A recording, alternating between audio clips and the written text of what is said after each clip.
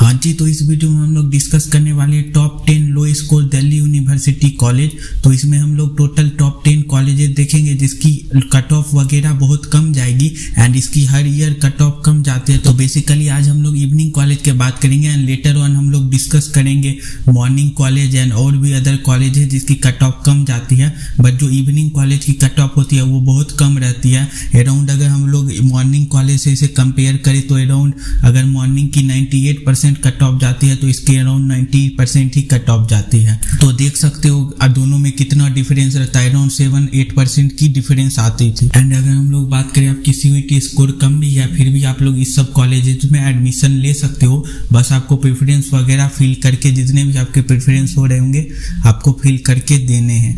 उसके बाद अगर हम लोग बात करें, उसके बाद अगर हम लोग बात करें अगर आप लोग कोई रिजर्वेशन कैटेगरी से बिलोंग करते हो देन आपकी स्कोर अगर टू हंड्रेड टू फिफ्टी भी है तो आप लोगों को ये सब कॉलेजेज मिल जाएगी।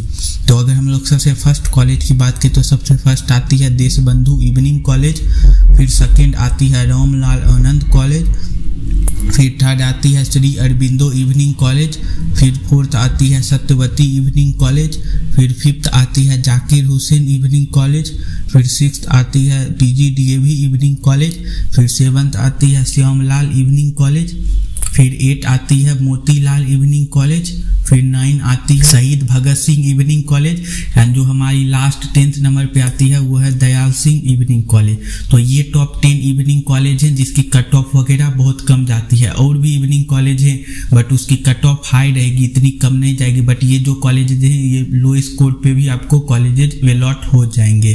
तो आई होप आपको सारी चीज़ें क्लियर हो गई होगी। एंड नेक्स्ट वीडियो में हम लोग डिस्कस करेंगे अदर कॉलेजेज के बारे में। तो अगर आपने अभी तक चैनल सब्सक्राइब नहीं किया है तो आप लोग चैनल सब्सक्राइब भी कर सकते हैं।